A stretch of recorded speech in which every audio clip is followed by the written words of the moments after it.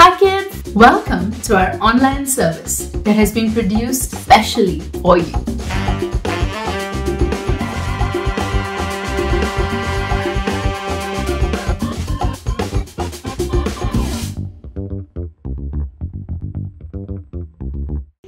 Good morning, everyone, and welcome to our online service.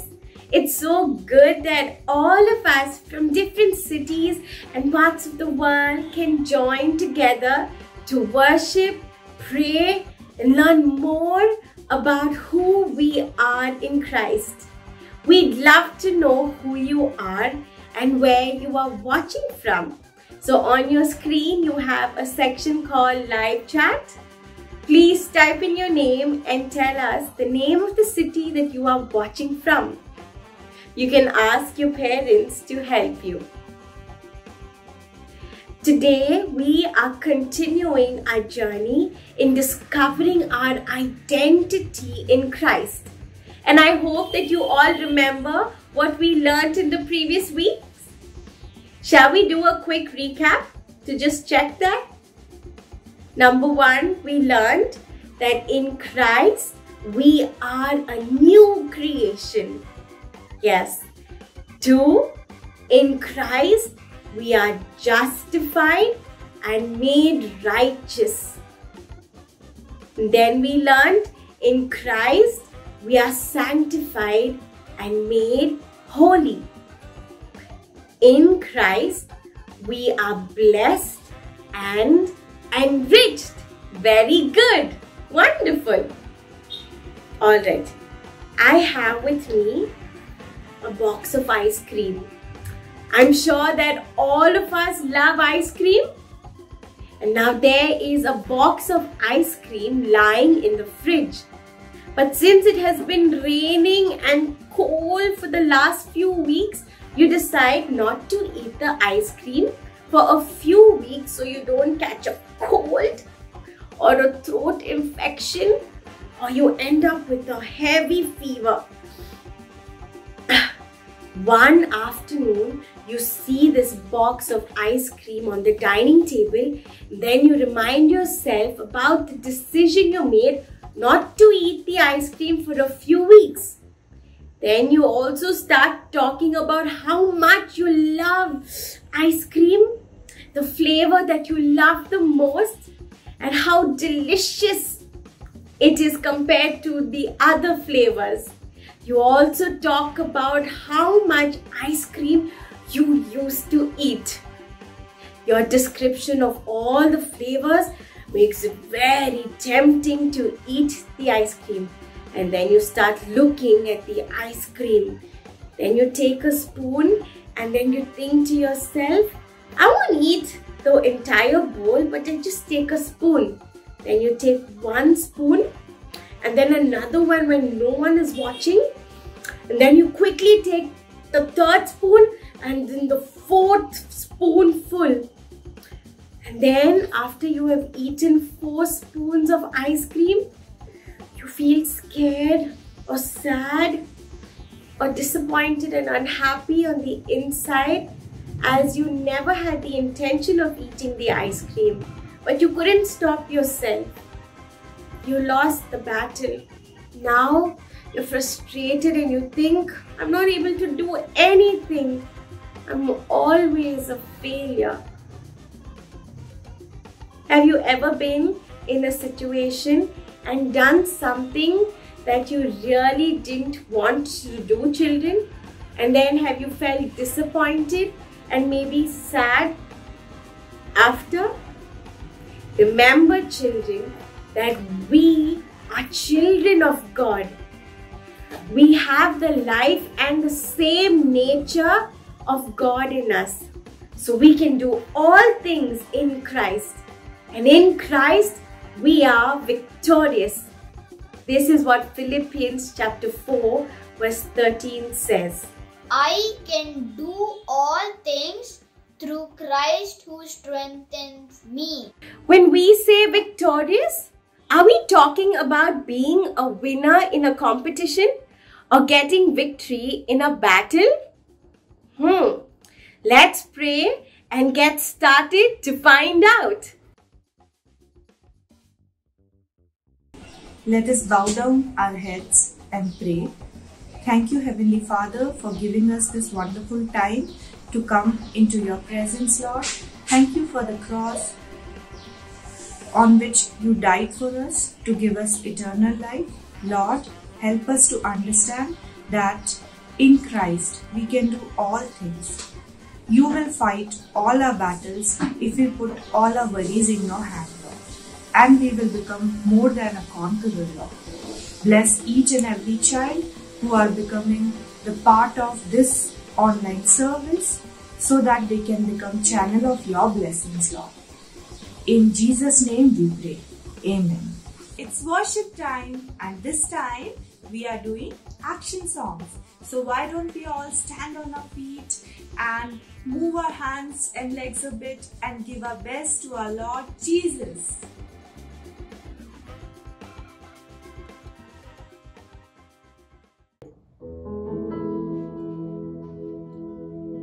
All right, good morning, kids. Hope you're having an amazing Sunday morning. I hope you're ready to praise and worship the Lord just as we are. The lyrics are going to come on the screen, so please sing along with us. Here we go. Cause every single cell in my body is happy. Every single cell in my body is good. Every single cell in my body is happy. Every single cell in my body is good. I thank you, God. I feel so good. Every single cell in my body is good. I thank you, God. I feel so good. Every single cell in my body is good. One, two, three, four. Every single cell in my body is happy. Every single cell in my body is good. Every single cell in my body is happy. Every single cell in my body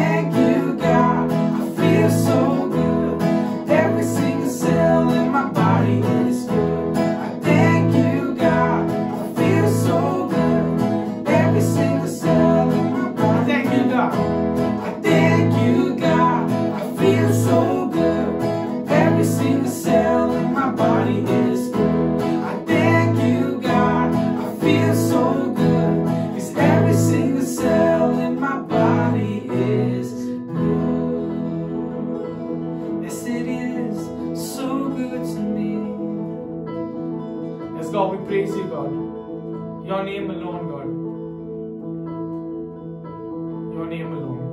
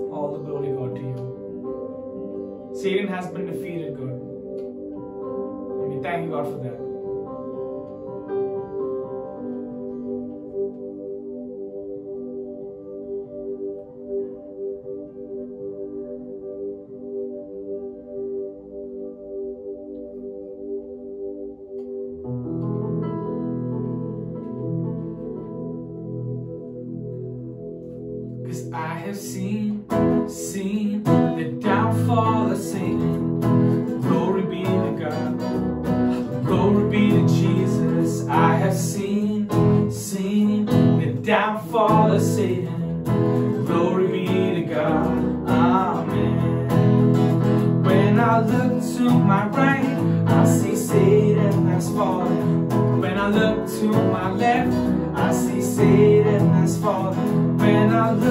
to my front, I see Satan as fallen. When I look to my back, I see Satan as fallen.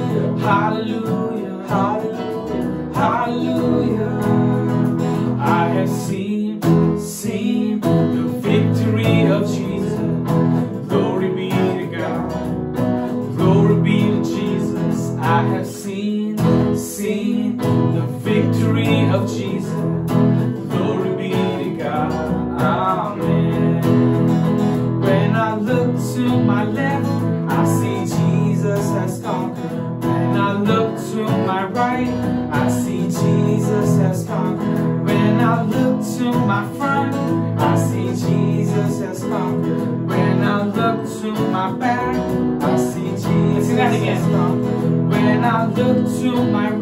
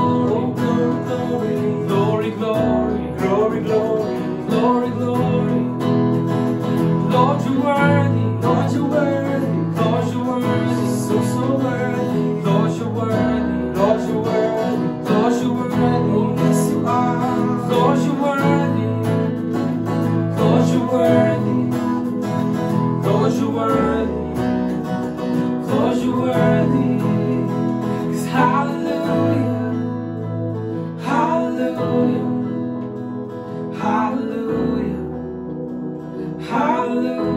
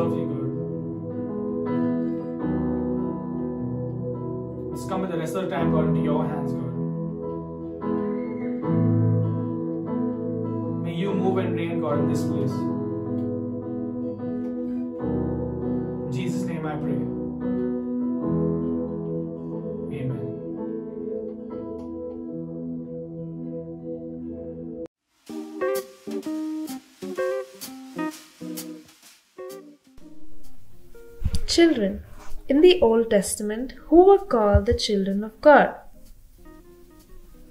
You guessed it right, the Israelites. When the Israelites disobeyed God and did not change from their sinful ways, God let the king of Assyria and Babylon capture them and take them as slaves to their countries. After several years, some of these people returned back to Israel but many others stayed back in the country where they were living. One of them was Nehemiah. When one of Nehemiah's brothers came from Judah, he told Nehemiah that the people in Israel were living in great shame and trouble because the walls of the city were broken down and the gates were burned down. When Nehemiah heard this, he cried and spent some days mourning and fasting and praying to God. He prayed, God, you are a great and loving God. We, your people, have sinned against you. We have not obeyed your commandments. When I serve the king today, make him pleased with me and have him do what I ask. Later, when Nehemiah served the king, the king noticed that Nehemiah looked sad. So the king asked why. Nehemiah quickly and quietly prayed in his heart and told the king about the situation in Jerusalem and asked him if he could go back to rebuild the wall. The king could have killed Nehemiah for asking to leave, but instead he said, Go. The king even helped Nehemiah with what was needed to build the walls of Jerusalem. This was because God heard Nehemiah's prayer and answered it. Nehemiah went to Jerusalem to rebuild the wall, but little did he know that he was going to need to ask for a lot more help from God. See, God's people always had enemies, and these enemies wanted to stop Nehemiah and the people from building the wall. First, they discouraged them by making fun of them, saying that the wall was so weak that if a fox went on the wall, it would fall. Nehemiah prayed to God. The people continued to build the wall. When the enemy saw this, they decided to fight against Jerusalem. God revealed this plan of the enemy to Nehemiah. Nehemiah encouraged the people, saying, Don't be afraid of your enemies. Remember the Lord, He is great and powerful.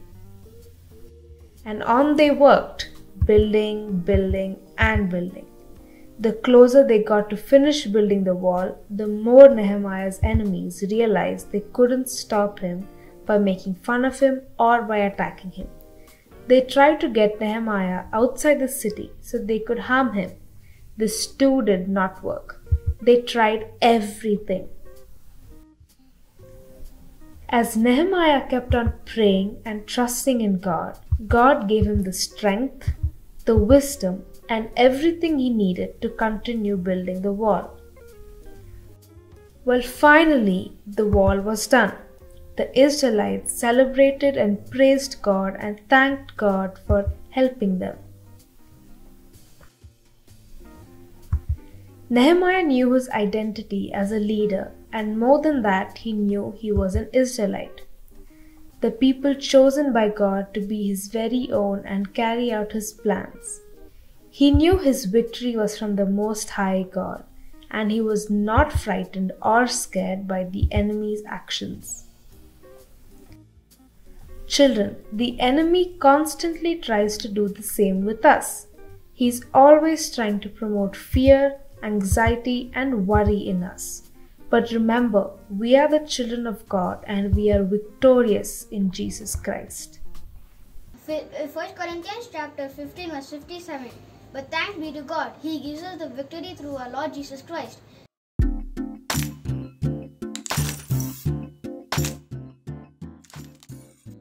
Now let's check if you've been paying attention and have understood what we've learned till now. Please write your answers in the live chat below. Are you ready? Here we go. And the first question is, this is a fill in the blanks question. I can do all dash through dash who dash me. Come on, quickly type in your answers in the chat section below.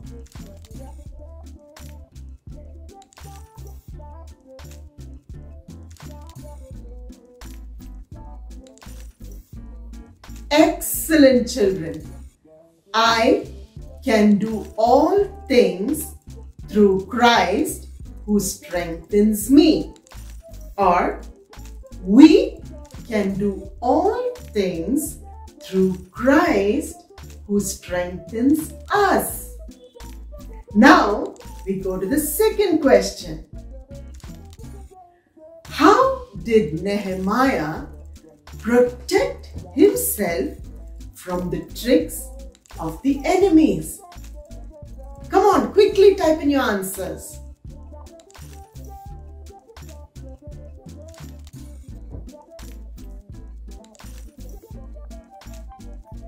Good job, children. And the correct answer is Nehemiah prayed to God. Now we go to the third question. This is a fill in the blanks. But thanks be to dash. He gives us the dash through our Lord Jesus Christ.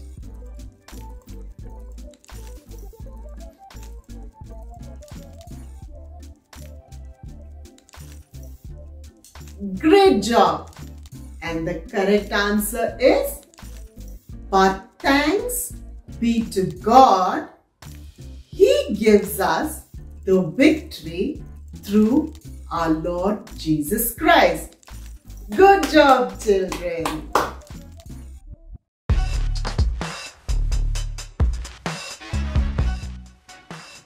In Christ, we are victorious.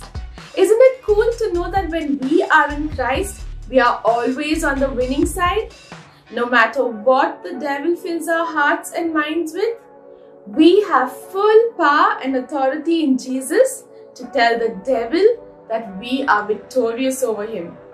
I have a small illustration to help us understand this better. I have here with me a glass container. Think of it as filled with all the lies the devil tells us. Like you're not good looking, or you're not smart, or you'll fail, or no one loves you. And this balloon represents your life and my life. And think of the straw as Jesus. Now I'm going to light this piece of paper and drop it into this bottle.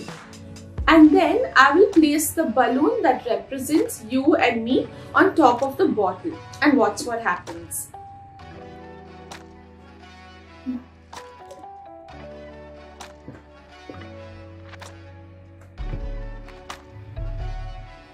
Can you see? The balloon is sucked inside the bottle. What you just saw happen is exactly what it feels like when we get sucked into the lies of the devil.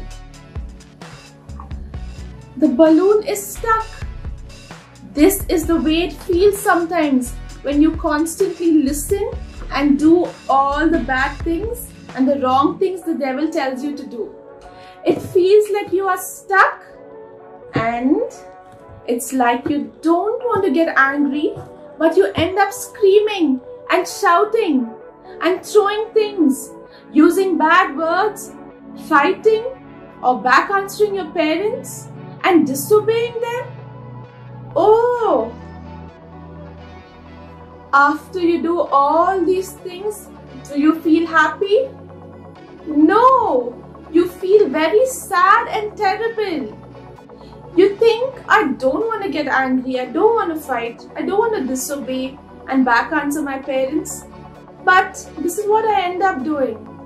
You may wonder, how can I stop myself? Or how can I do what is right? The devil will not stop or give up. He is very good at his job. That's why Jesus calls him the father of lies, which means that he is the head and the top liar. God says that there's a way out. This straw represents Jesus. Now watch what happens.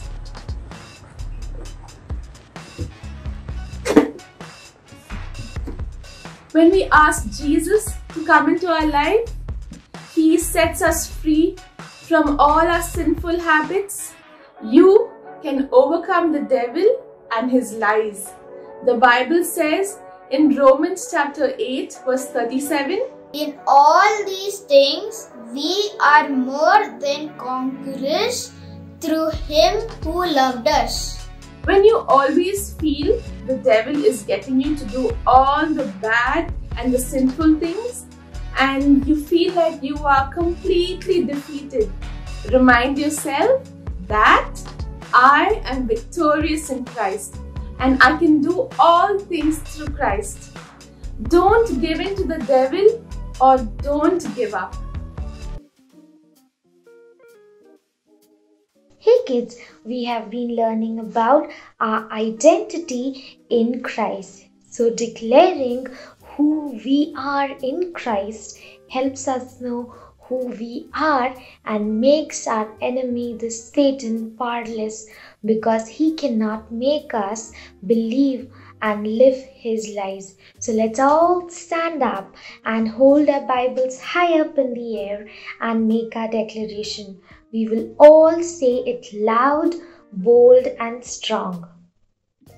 This is God's word. This is God speaking to me. I am who God says I am. I can do what God says I can do. I will become everything God has promised. I am saved, healed, delivered, redeemed. I am blessed, victorious, prosperous, triumphant. I am a minister of God, a servant of Christ, and a channel of His blessing to many people.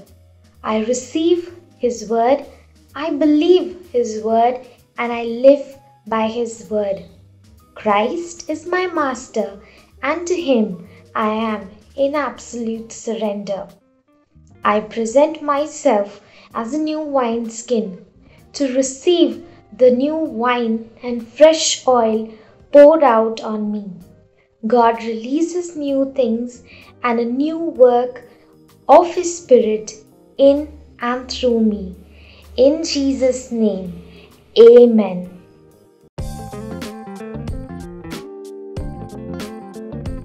How encouraging was that? To shout out the declaration, to declare, I am blessed, I am victorious, I am prosperous, I am triumphant. The Bible says in Romans chapter 8 verse 37, in all these things we are more than conquerors through him who loved us. More than conquerors. What does it mean? It means that in Jesus we are super victorious or over the top winners. How does that make you feel? Wow! But sometimes life can get crazy, can't it? You're being bullied, you have a fear of exams, no friends to play with, fear of what others might think about you. Someone in your family is sick or is in the hospital. You're not able to finish your homework. The fear of losing the game or failing the test or exam. We feel we are getting hit with big and small problems, one thing after another. But more difficult is when our hearts break, our fear rises, or our souls get pelted with condemnation and lies. You're not good enough. You can't get anything right. You are such a failure. When we get tossed around by life because of difficult situations, constant little frustrations or lies, we feel really shaken up, don't we? Instead of giving into our fears, believing and living the lies of the enemy, we just need to stand confident in our authority in Christ and say, Enough to the enemy who's throwing his fiery darts at us. We need to put our foot on the neck of the enemy. You know, children, in the olden days, when a king lost a battle that he was forced to lay on the ground with his head forward so that the king who won the battle could put his foot in the center of his neck. This showed everyone that the enemy had been defeated and was made powerless. Satan, our enemy, often feels stronger than we are. It can feel like he's constantly attacking and defeating us. But the truth is that on the cross, Jesus won the victory over Satan. And Jesus shares his victory with us. So the enemy is the one who is defeated, overthrown, and powerless. He's under your feet. We, the children of God, are victorious and we have authority over our enemy. Fight back and watch how God will help you win. How can we fight back and be victorious in Christ? Hmm. Two ways. One is by faith. The Bible says, For whatever is born of God overcomes the world. And this is the victory that has overcome the world our faith. You'll find that in 1 John chapter 5 verse 4. Faith believes in God as our savior and Lord. Faith rests on the fact that God is in control and we are not. It trusts God in everything. We get faith from the Holy Spirit and through reading the Bible. We can ask God for more faith. Faith in God is our victory over any situation. It does not take the situation away, but it gives us the victory in our hearts. You see, the battle is always won and lost in our heart. The next way is to obey.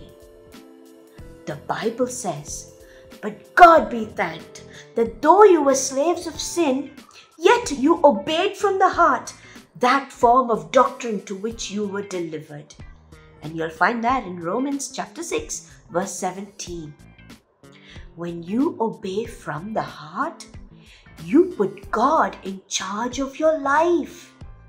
Obedience is giving someone else the authority they deserve. When we obey all that the Bible tells us, we allow God to be in charge of our life. So, children, don't get discouraged. You don't fight for a position of victory, you fight from a position of victory. The enemy may squirm and squawk, but he's still under your feet.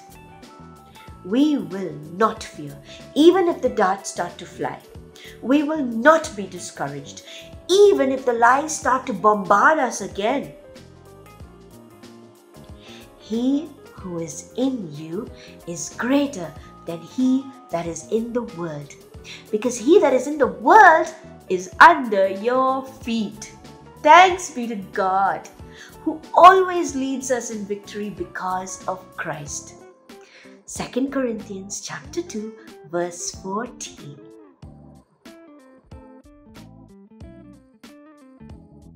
Today we saw how Nehemiah was sent to Jerusalem to build the broken down walls of the city. The same way God can fix anything that's broken in our lives. In the right time, God sent a very special rescuer, not just to save a broken wall, but to save the world.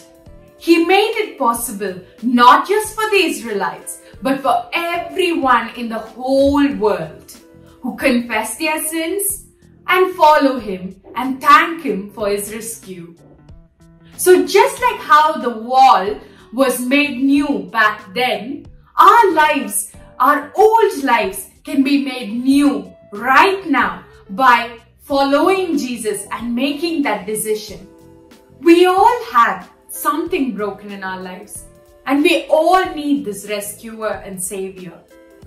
So if you've still not made that decision and have made it today, It's as simple as just repeating the prayer after me. Will you do that, children? Close your eyes and just repeat after me. Loving Heavenly Father, we thank you, Lord, for rescuing us from all that is broken in our lives. Thank you, Jesus, for dying on that cross for everyone. Thank you for including me in your big plan.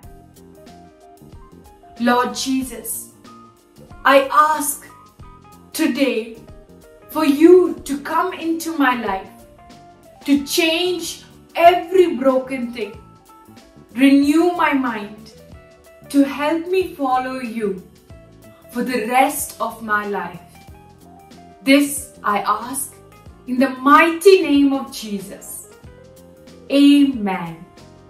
Also, children, if you are praying for any miracle or any healing in your bodies, I encourage you to pray with me. Just these two lines, trusting God on that miracle, on that healing for he is alive even today and listening to every word of your prayer.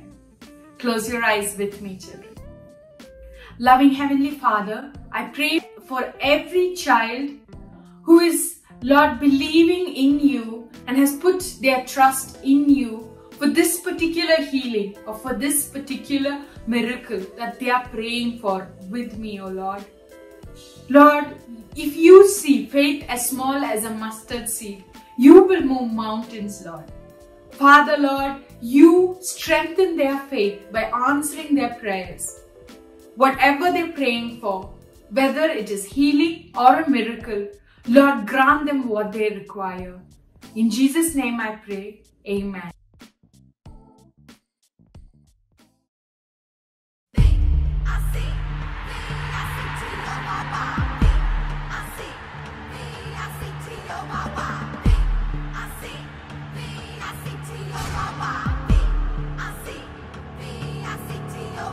If God is for me. Be against me? And if God is for me, I don't need to fear the enemy. There is victory in Jesus, there is victory in Him. He gave me grace, I gave Him my sin. He died on the cross and then He rose again. There is victory in Jesus, there is victory in Him. V-I-C-T-O-R-Y The is empty, he's alive V-I-C-T-O-R-Y V-I-C-T-O-R-Y The enemy better run and hide. The King of Kings is on our side. V-I-C-T-O-R-Y V-I-C V-I-C-T-O-R-Y V-I-C V-I-C-T-O-R-Y Accuser comes at me as quick as he can But no weapon formed against me will stand I am redeemed by the blood of the Lamb, protected forever by the great I am. There is victory in Jesus, there is victory in Him. He gave me grace, I gave Him my sin. He died on the cross and then He rose again. There is victory in Jesus, there is victory in Him. V-I-C-T-O-R-Y, oh, this will be our tomb is empty, He's alive. V-I-C-T-O-R-Y V-I-C-T-O-R-Y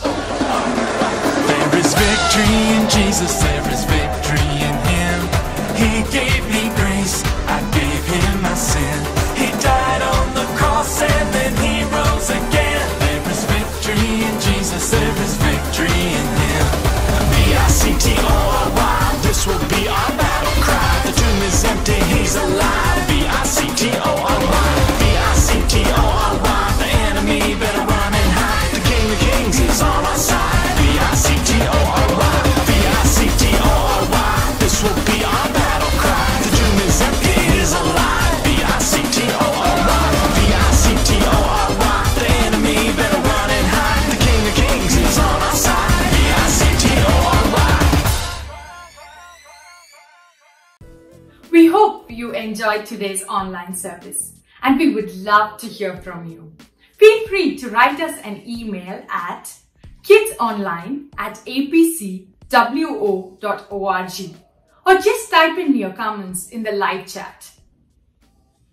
Also, do not forget to visit us online at apcwo.org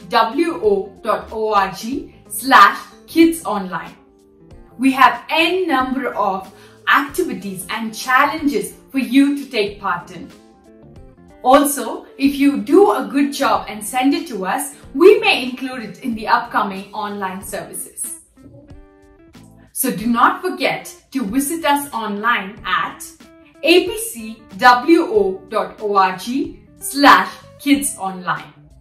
Before we close, is anyone's birthday coming up this week? If so, why don't you type your name, your age and your birth date in the live chat. And we would love to pray for you and wish you as a family. Have you always had questions about the Bible, about Jesus, and how to live for Jesus? Why don't you write an email to us with your questions at kidsonline at apcwo.org and we would try our best to answer your questions in the upcoming online services. We look forward to hearing from you. Shall we close in prayer, children? Close your eyes. Loving Heavenly Father, we thank you for today's learning, Lord. We thank you for the time we spent at your feet. For we know that the time we spend at your feet is never wasted time. Thank you for everything that we received in online service. And we think of the underprivileged who do not have these options during these tough times. Lord, bless them and provide for them. In Jesus' name we pray. Amen. Bye, children. I'll see you next Sunday. Bye bye, children. See you next week. Bye, children. See you next Sunday.